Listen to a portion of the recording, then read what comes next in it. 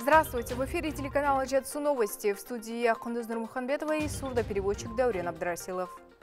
И вначале коротко о главном. На должном уровне в Талдыкургане с рабочим визитом побывала министр здравоохранения Ахмарал Аль-Назарова. Главный врач страны подчеркнула, что продуктивная работа медиков начинается с качественных объектов здравоохранения. Двойной праздник. Сегодня, в День национальной валюты, работники финансовой сферы Казахстана отметили свой профессиональный праздник. Некоторые из них были поощрены за свой труд. Да будет свет! В Аксусском районе продолжается работа по установке уличного освещения сельских улиц. Сегодня с рабочим визитом в область Жетсу прибыла министр здравоохранения страны Ахмарал Аль-Назарова. В ходе объезда глава ведомства посетила медицинские учреждения, встретилась с медработниками, а также побеседовала с пациентами. Кроме того, высокопоставленная гость провела встречу с населением и ответила на вопросы представителей СМИ. Айгерм Купаева продолжит. Главный врач страны в первую очередь посетила спортивно-реабилитационный комплекс «Асар». В этом центре оказывается помощь людям с ДЦП, заболеваниями опорно-двигательного аппарата, а также проводится реабилитация после инсультов и лечение детского церебрального паралича. Здесь бесплатную профессиональную помощь получают около 300 человек, в их числе 54 ребенка. На сегодняшний день мы достигли отличных результатов. Пациент не мог самостоятельно стоять, только при помощи аппарата. Укрепились мышцы таза, позвоночника и ног. Вы получили направление в поликлинике. Как долго вам пришлось ждать? Нет, недолго. Квоту на лечение я получаю уже в третий раз.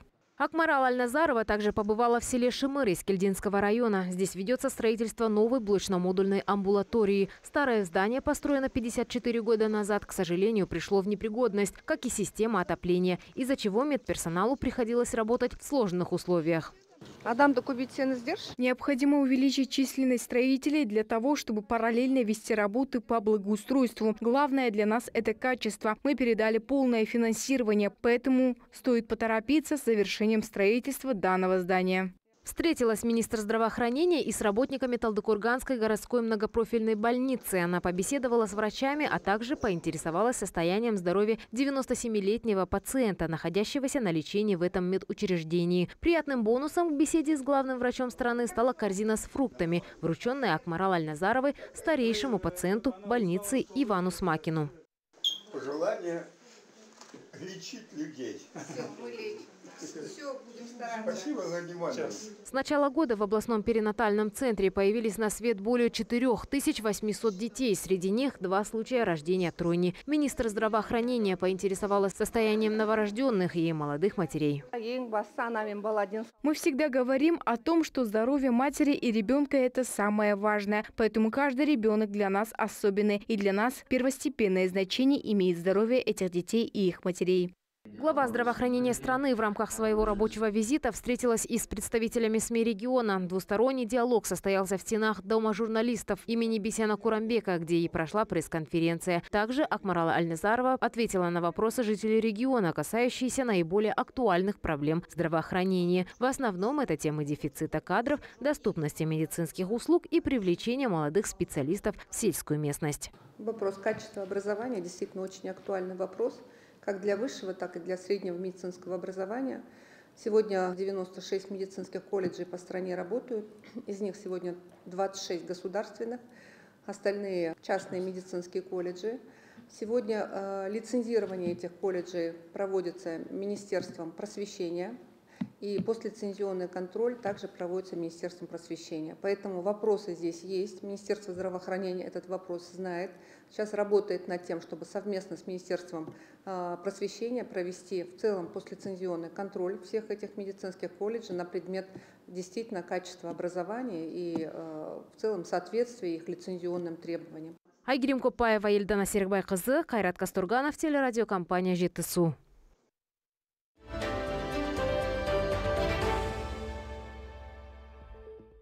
Казахстан и Катар намерены сотрудничать в военной сфере. В минувший четверг на прошедшем пленарном заседании Сената парламента был одобрен закон о проведении совместных военных учений двух стран. Помимо сотрудничества в этой сфере, государство Катар является надежным и важным партнером Республики Казахстан в исламском мире. Вместе с тем укрепляются экономическое партнерство, культурно-гуманитарные связи, а также налаживается тесный политический диалог, резюмировал в ходе заседания сенатор Галясхар Сарбаев келісімді ратификациялау екі мемлекет арасында ратификация данного соглашения позволит казахстану и катару реализовать планы по сотрудничеству в сфере военной подготовки в частности в повышении военного образования и квалификации военнослужащих соглашение также даст возможность проводить различные мероприятия не только в сфере военной медицины науки и спорте но и взаимодействовать в других отраслях вместе с тем данное сотрудничество это возможность изучения языков сохранение секретности информации разрешение конфликтных конфликтных ситуаций, обмена опытом, проведения совместных тренировочных учений, консультирования и участия в миротворческих операциях. В связи с чем определен порядок внесения поправок в данный законопроект. Как отметил Галиаскар Сарыбаев, это соглашение учитывает возможность использования воздушного пространства и военных полигонов двух государств в ходе проведения военных учений, а также возможность транспортировки техники. Ответственность за реализацию этих мероприятий лежит на Министерствах обороны обеих стран. Уполномоченные органы определяют, организуют, координируют деятельность сторон. Для предупреждения определенных ситуаций будет создана совместная рабочая группа по согласованию с уполномоченными органами, и ее члены будут проводить мероприятия на территории двух государств. Напомню, что данное соглашение заключено сроком на пять лет. Особенностью договора является то, что по истечении этого срока, если обе стороны не уведомят друг друга о расторжении соглашения, оно будет автоматически продлено еще на пять лет. Депутат Мурат Кадырбек также поддержал ратификацию законопроекта, рассмотренного в докладе члена Комитета по международным отношениям, обороне и безопасности Галиаскара Сарыбаева. Вместе с тем его заинтересовала шестая статья соглашения, в связи с чем он обратился с вопросом к представителю Министерства обороны. Прошу вас подробнее пояснить, какими функциями будут наделены члены совместной рабочей группы, каким образом будут оформляться принимаемые решения и каков будет механизм реализации данных решений сторонами соглашения. По словам представителя Министерства обороны, в настоящее время обозначены основные задачи, стоящие перед обеими сторонами. Это повышение совместных усилий в области военного образования и подготовки военнослужащих. Также будут проводиться культурные и спортивные мероприятия в военной сфере и совещания по вопросам, касающимся операций по поддержанию мира. Гульмира Тимиргалиева, Алмат Хамид, Ренат Утеев, телерадиокомпания ЖТСУ, Астана. Талдыкургане состоялась 23-я внеочередная сессия областного маслихата. В центре внимания депутатов вопросы бюджетного планирования и социально значимых отношений. В ходе заседания были рассмотрены изменения к решению о бюджете области ЖЕЦУ на 2024-2026 годы, а также изменения к решению об определении перечня социально значимых сообщений региона. Народные избранники заслушали доклады руководителей госорганов об исполнении бюджета области ЖЕЦУ за 11 месяцев. Особое внимание было уделено вопросам предотвращения чрезвычайных ситуаций. Так, для завершения работ по укреплению побережья рек Каратал и Кура в городе Текили планируется выделить 160 миллионов тенге. В сфере образования запланировано выделение более 660 миллионов тенге, из которых 130 миллионов будут направлены на содержание новой школы в городе Жаркент, рассчитано на 2 1200 ученических мест. Данное образовательное учреждение построено в рамках национального проекта «Комфортная школа». Также вопрос о определении перечня социальных значимых сообщений в области ЖЭЦУ были внесены изменения в решение Маслихата. Основанием для внесения изменений в решение данного Маслихата является включение в перечень социально значимых родословных дополнительно 4 внутригородских регулярных маршрута города Текели. На сессии были приняты решения э, соответствующие и были утверждены те вопросы, которые внесли в Маслихат. Депутаты задавали насущные вопросы, которые волнуют их. Именно гос, руководители госорганов дали э, ответы. Свет на каждую улицу. В Аксусском районе ведутся работы по проведению освещения на улице протяженностью 40 километров. На сегодняшний день объем выполненных работ составил 60%. По плану 1159 линий электропередачи будет установлено в селах Сагабиен, Матай и Культабан. На реализацию данного проекта из бюджета выделено более 760 миллионов тенге. В целом по области Жетсу протяженность сетей уличного освещения составляет 1685 километров. В прошлом году на территории региона было установлено 1850 уличных фонарей. В этом году планируется установить 2550 единиц. На сегодняшний день работы по освещению ведутся в шести районах области. На осуществление данного проекта из республиканского бюджета было выделено полтора миллиарда тенге.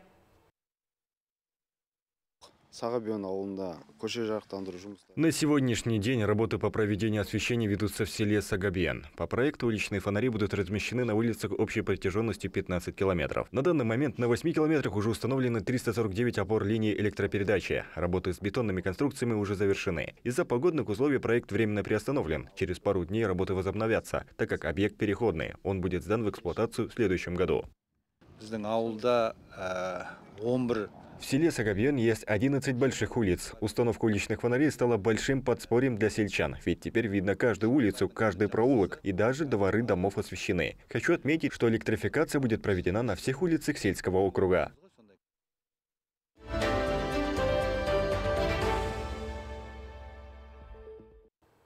15 ноября 1993 года в Республике Казахстан была введена в обращение собственная валюта – тенге, что стало важным шагом для страны на пути к укреплению независимости и развитию рыночной экономики. В этом году тенге отмечает свою 31-летие, а с ним и профессиональный праздник работники финансовой системы Казахстана. В честь этой знаменательной даты Аким города Талдыкурган Ернет Безель провел торжественное награждение экспертов отрасли, выразив искреннюю благодарность всем тем, кто своим трудом способствует развитию бюджетной сферы и укреплению экономической стабильности региона. В ходе мероприятия около 40 сотрудников финансовых организаций были награждены почетными грамотами и благодарственными письмами Акима области Жетсу за высокий профессионализм и значительный вклад в развитие финансовой системы региона. Особое внимание было уделено руководителю Сарканского районного управления казначейства, э, департамента казначейства области Жетсу Галия Уроновой, которая удостоилась удостоилась знака «Отличник финансовой службы».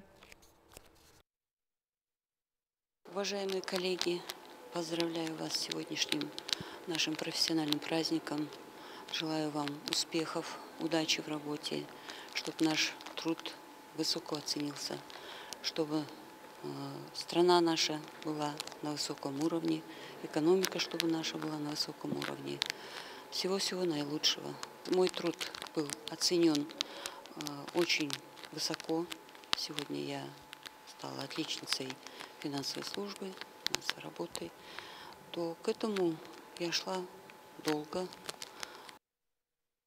Осторожно, интернет-мошенники. Именно этот вид преступной деятельности в последние годы набирает обороты. Как обезопасить себя от сети аферистов и не попасться на удочку преступников, рассказали сотрудники правоохранительных органов. Подробности в нашем следующем материале.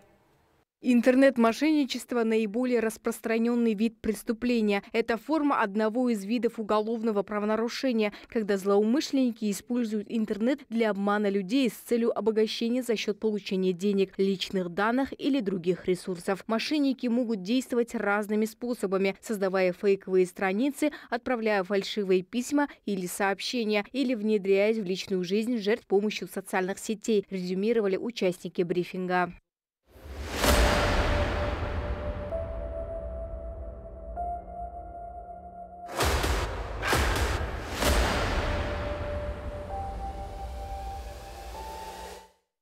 Сегодня в эпоху высоких технологий и массовой цифровизации интернет-мошенничество становится все более разнообразным и изощренным. Причем существует множество его разновидностей. Компьютерное мошенничество, получение субсидий путем мошенничества, мошенничество при капиталовложении, обман с целью получения завышенной суммы страховки, получение выгоды путем обмана, мошенничество, связанное с получением кредита. Как отметил спикер, злоумышленники часто нацеливаются на детей и пожилых людей, поскольку эта категория граждан менее осторожна в интернете и не всегда понимает уровень угрозы. Важно объяснить им опасности фальшивых предложений. Чтобы не стать э, жертвами интернет-мошенников, э, в первую очередь гражданам э, мы советуем проверять информацию, а также проверять информацию, а также другие же ссылки, которые отправляются вами или же вашими родственниками в групповых чатах, а также не проходить по предоставленным ссылкам, которые вызывают сомнения, а также проверять информацию, еще раз скажу, и именно в интернете не проходить по подозрительным ссылкам и не заполнять э, личные данные конфиденциальные, которые э, не предоставлять сторонним лицам э, свои банковские реквизиты, свои конфиденциальные данные, личные данные. Онлайн-мошенничество представляет собой серьезную угрозу для пользователей интернета. Важно быть внимательным и осторожным при взаимодействии с онлайн-ресурсами, чтобы избежать потерь. Напомним, что за подобные деяния законом предусмотрен максимальный срок наказания до 10 лет с конфискацией имущества, подытожил старший оперуполномоченный организационный контрольное управление Бауржан Тиксбаев. Кундузнер Муханбетова, Жайық Курманбаев, телерадиокомпания «Жетсу».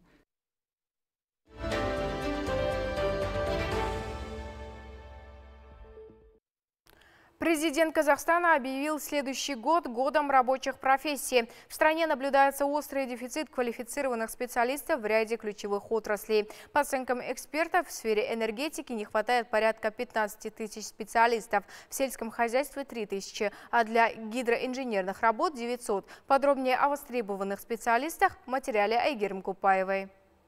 Всего в крае ЖТСУ действует 27 колледжей, готовящих специалистов рабочих профессий, из которых 21 государственные и 6 частных образовательных учреждений. Более 10 тысяч студентов получают здесь образование бесплатно, закладывая прочный фундамент для развития региональной экономики и создавая перспективную рабочую силу будущего.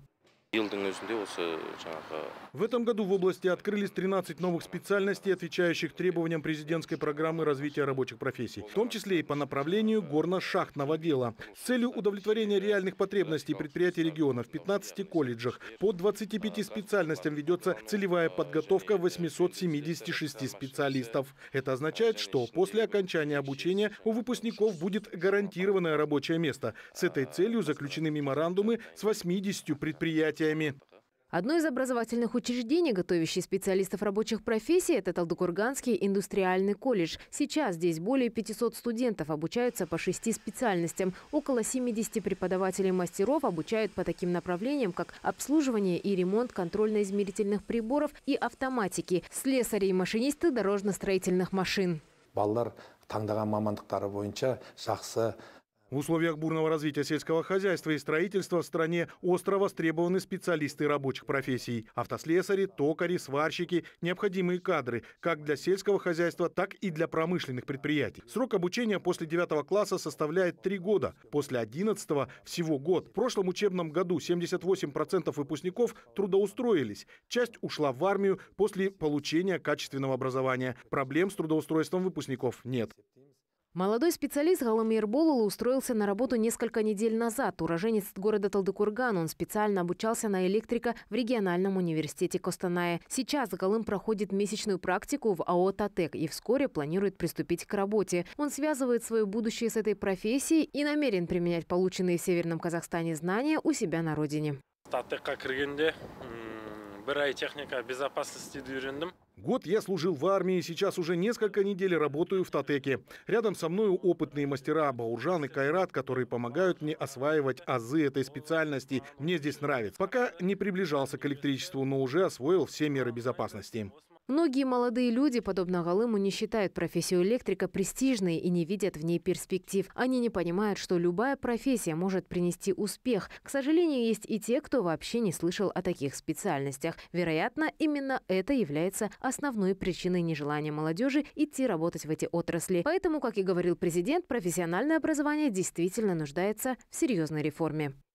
жеке қызмет көрсететін кәсіпкерлермен бірлесіп Совместно с представителями Палаты предпринимателей Атамикен мы провели опрос среди крупных предприятий области и индивидуальных предпринимателей. В опросе приняли участие 80 объектов бизнеса. В результате мы определили востребованные специальности в регионе на ближайшие годы. В первую очередь существует большой спрос на специалистов по обогащению руды, сварщиков, электросварщиков, а также автомехаников и трактористов.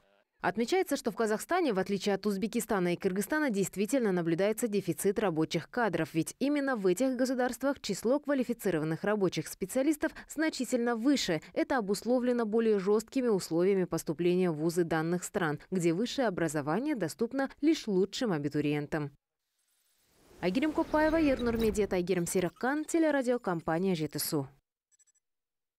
Программа «Одно село, один продукт», ставшая в нашем регионе традиционной, все больше набирает популярность среди жителей области Жетсу. Который год участники проекта представляют широкий спектр продукции, включая кулинарные и кондитерские изделия, ювелирные украшения, текстиль и многое другое. Всего в мероприятии приняли участие 32 предпринимателя, из которых только трое были удостоены главного приза. Одна из них – Евгения Звягина. Наша съемочная группа побывала в гостях у мастерицы из областного центра.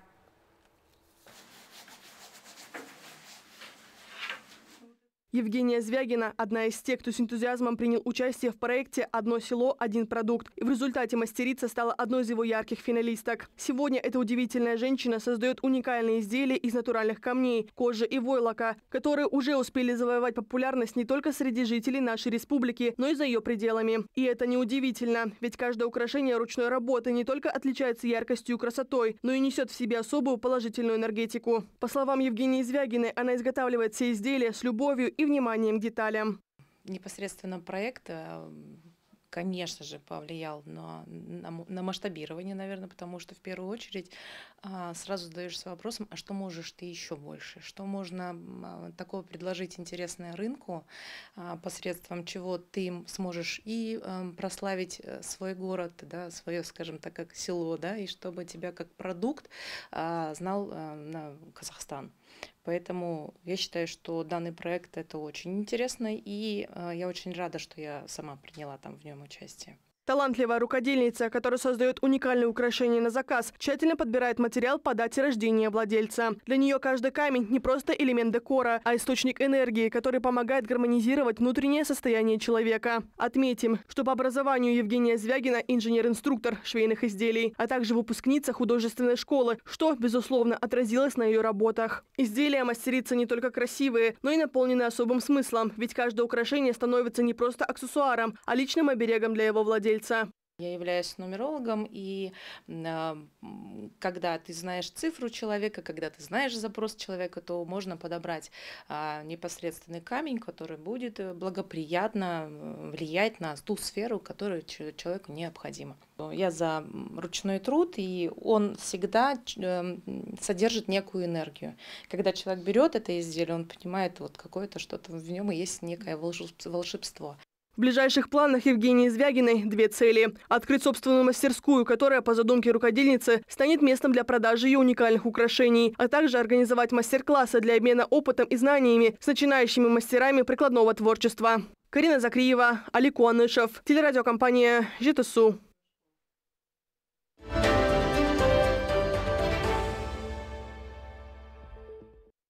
Для любителей литературной прозы нынешняя пятница стала значимой, так как в этот день состоялось двойное мероприятие. В рамках первой цели участники встречи отдали дань памяти писателя и историку Андасу Маракану, родившийся в 1944 году в Китайской Народной Республике. Он внес особый вклад в развитие айтыса китайских казахов. Он скончался в 2015 году в Казахстане, в городе Талдыкурган. На сегодня сохранилось около 20 произведений Андаса Умаракана. Не менее важным это мероприятие мероприятие стало и для членов общественного объединения «Краеведческий центр области Жетсу», которые подвели итоги и поделились планами на будущее. Так, за прошедший год исследователи выпустили 12 книг, посвященных истории и культуре региона. Эти произведения были тщательно изучены, обобщены и переданы в библиотеки страны, чтобы сохранить и распространить звание об области Жетсу и ее богатой истории. Кроме того, особое внимание на встрече было уделено награждению граждан, которые в течение года активно занимались поиском и сохранением местной истории. С момента создания общественного объединения «Союз крововедов» области Жицу прошел ровно год. Он был наполнен плодотворной работой, исследованиями и сотрудничеством с различными учреждениями региона. На сегодняшнее мероприятие мы подвели итоги деятельности объединения и обменялись опытом с нашими партнерами и коллегами. Одним из главных результатов нашей работы за этот год стал выпуск книг, который является результатом как коллективного, так и индивидуального труда наших исследователей. На этом у меня все. Оставайтесь на телеканале Жетсу и будьте в курсе событий. До свидания.